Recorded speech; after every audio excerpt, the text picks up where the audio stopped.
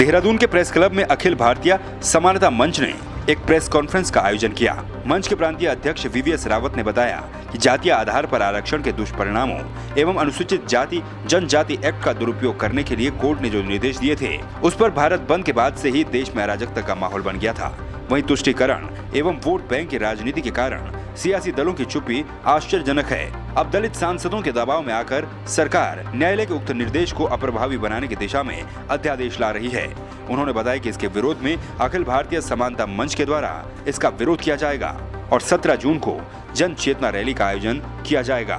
ये आयोजन देश के 18 राज्यों के 60 से अधिक शहरों में किया जाएगा। उत्तराखंड में इसी दिन देहरादून और अल्मोड़ा में जन चेतना रैलियों का आयोजन किया जाएगा।